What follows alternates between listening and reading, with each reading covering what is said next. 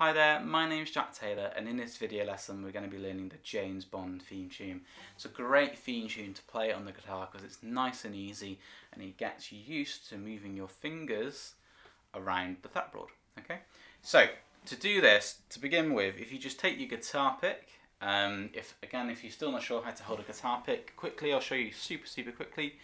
Thumbs up sign, pick your pick on the top of your finger so it's resting like this. Clamp your thumb down and you should have a little bit of pick holding underneath there. Okay, so what we're going to do, first off, before we put any of um, our fretting hand on the fingerboard here, we're just going to get used to playing the B and E strings, okay? So the song actually goes like this. The strings that you play go like this.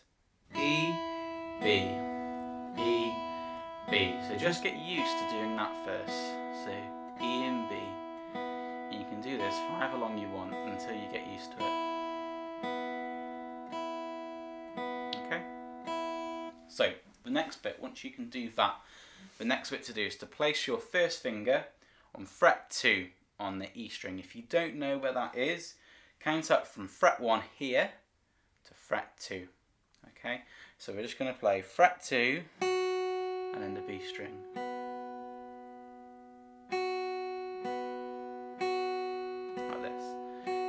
You're still going to play E, B, E, B. Once you can do that, move your finger up to fret 3 and do this. Okay, and then try and move it up to fret 4. And go back down to fret 3. Okay, they're all the frets that we need for this song. So to put those all together, do it like this. You go two, open B, fret three, open B, fret four, open B, fret three, open B. Let me just do that again. So fret two on E, open B, fret three on E, open B, fret four on E, open B, fret three on E, open B.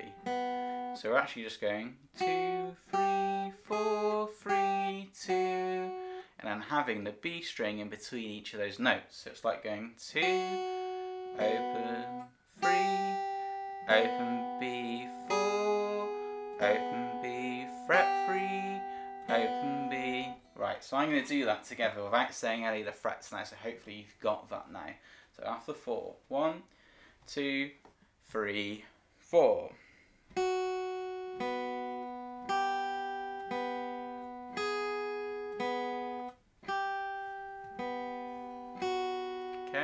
So what I'm going to do now is I'm going to play this a couple of times round and you can join in if you want at home. Okay, after four. One, two, three, four.